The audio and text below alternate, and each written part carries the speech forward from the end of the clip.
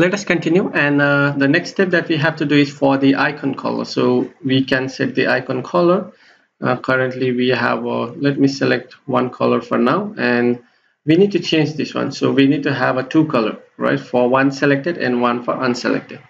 So for that we'll go to the color and let us create a new color file sorry. Just copy this one and uh, duplicate it. And here we will create a for this one for the icon and uh, this one should be for the icon too. I see sorry icon. And we we can give a different color or depending on your requirements just I will just leave it as it is. You can change it.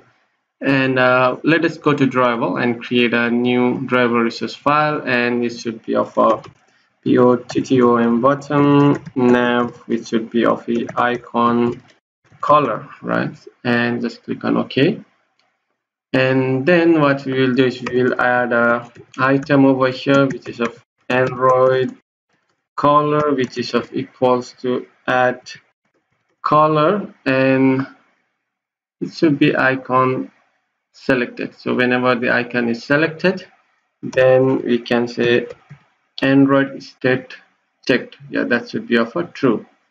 Whenever the state of that particular tab is selected then we have a this selected color and second we also need to provide for the item android color which is equals to the color and add color which is of the unselected icon. Okay so we have a two color set up already. One is for selected and one is for unselected. Since we have this color uh, design let's go to the activity and select this particular one and go to the split.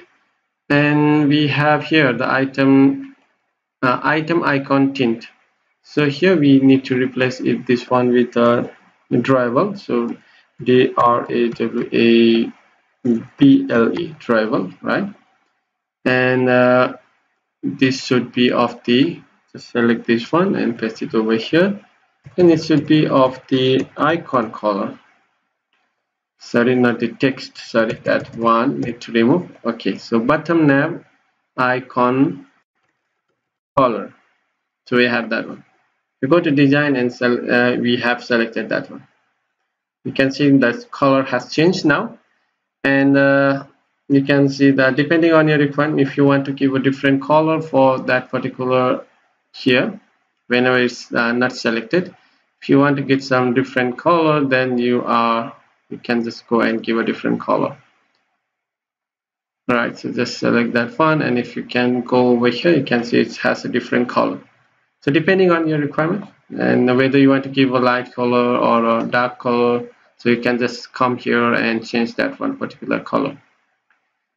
And uh, that should be fine and uh, let us try to run our application and let us test it out and uh, when the application is running you can see that we have a different color right? So whenever we select we have a different color for the icon as well as the icon text color and that's great. So I hope you guys enjoyed this lecture and uh, you can just go and try it out your own. Just don't only watch the video try to go and practice on on your own and that way you will have more experience so let's meet up in the next lecture and on the next lecture what we will do is we will add an overflow menu. So let us try to add an overflow menu then we will go for the navigation component and how to add all of the navigation graph and uh, navigating to the different fragment.